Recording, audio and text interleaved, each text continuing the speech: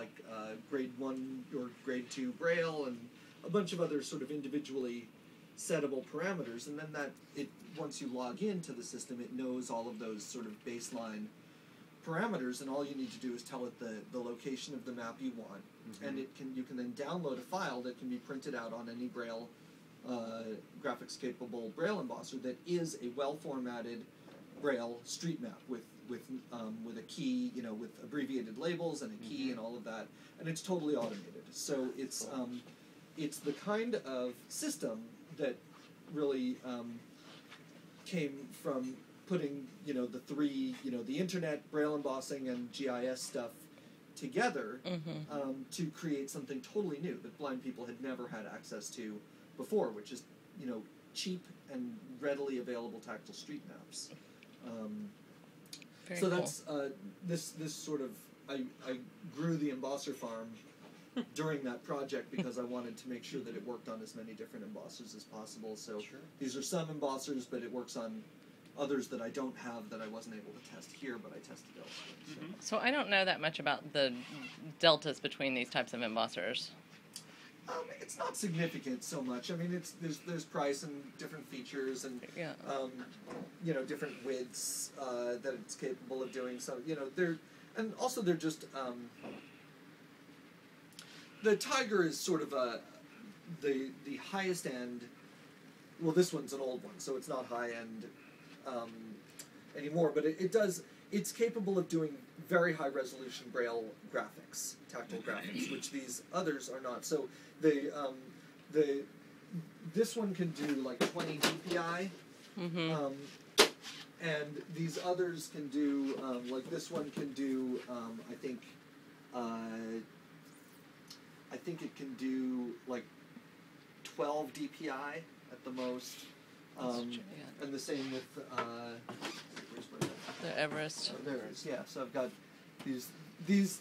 These can do. Um, Basic. let's see. I've got to do a metric conversion. These. This. This one can do like 17 DPI.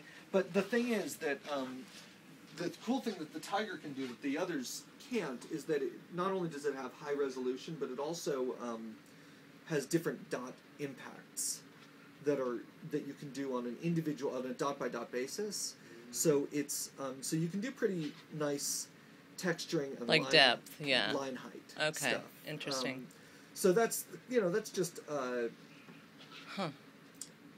just a bunch of you know just different models. I mean they're, they're not even you know it's it. I'm sure the manufact the individual manufacturers would tell you how vastly different and superior each of their embossers is. Um, but the fact is that all of them are out there in the market. Right. And um, and if you want to create, and they all have different protocols for graphics. What's the rate of development and change in this market that you see? Very slow. yeah, very slow so. because um, braille embossers. I mean, these these braille embossers use technology that was by and large, um, you know, uh, new in the you know in the in the you know sixties maybe. Yeah.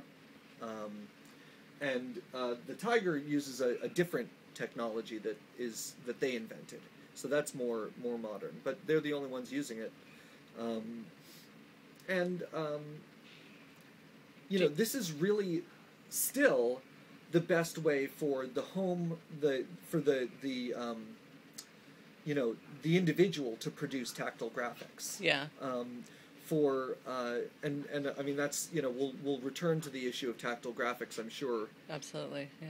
during the day but basically um, you know thermoform is cool but it needs you know no individual or very few individuals have the ability to do thermoform and if you're going to do thermoform you need to be able to produce an original Right. so what's you know thermoform is just for making copies braille tactile graphics um, if you want to make something that you can feel and add labels to and um, that has sort of the kind of crispness and precision that is really important for tactile graphics. Um, braille embossers are definitely your first choice with um, swell paper being a, I think a for for for my um, for my money a, a, a sort of second choice Yeah. a deep second choice Are people mixing uh, I was thinking of the auditory feedback stuff there. Some of the touch displays, like you get on the iPad with auditory feedback to help people navigate a, an image, like a vector image. Well, now you're talking about. Um, uh, so yeah, of course, um, audio tactile graphics has been a mature technology and evolving technology since the mid '80s. So basically, um, if you have a tactile image and you want to be able to add audio to it, there are um, three. Oh, I'm. I mean more like, well, you could add audio to it, but you also use pitch to be able to stay, you know, to follow the vectors along. You know, that's a really interesting um, possibility. And actually, I've, I'm doing some NIH funded research right now um, around what I call um, audio haptic, um, Mhm.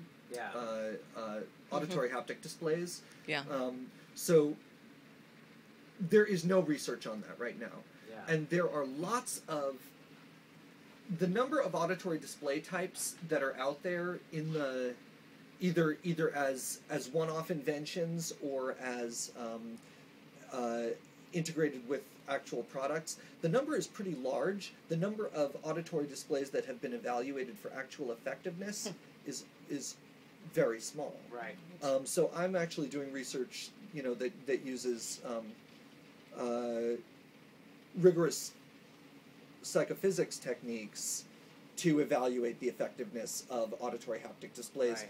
Right now, um, the the next step is to do the kind of um, line tracing, uh, auditory feedback for line tracing that you're talking about. Yeah. But I can tell you that um, that it's very hard.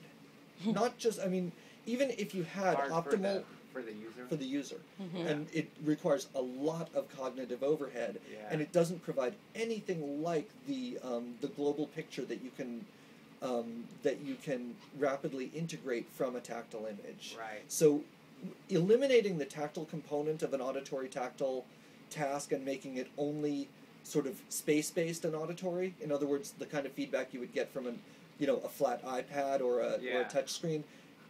It is tough, and it's it's not um, it's not going to be a um,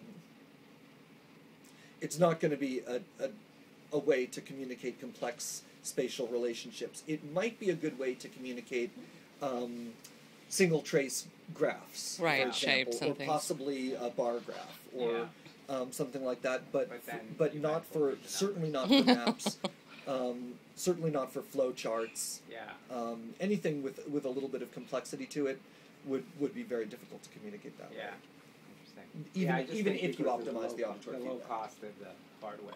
Yeah, Yeah, and No, there probably are different applications beyond just like a visual image, but just the depth to which people have mined the use of haptic feedback with auditory is, I think, hasn't even had Yeah. the surface scratched of it. You know, with with these commercial devices where, you know, it just vibrates in your hand. Basically, I'm like, it could do a number of different things. It responds, right? It has its compass setting. You could. Um, yeah, I mean, there's. It's really. Um,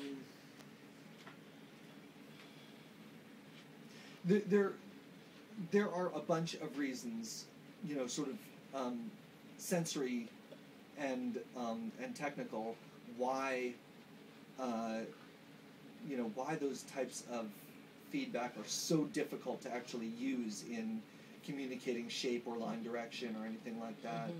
Um, not to say that it can't be done, but I think that the promise really lies in um, uh, sort of uh, computer-controlled membrane um, and and full page Mhm. tactile Mhm. technologies, which are um, still completely you know pie in the sky, but I think are much more likely to give us what we're really after than um, than by pushing the limits of auditory, you know, pure auditory Yeah. feedback. Yeah. So Yep. Um, yeah, it's just, I mean, by wiring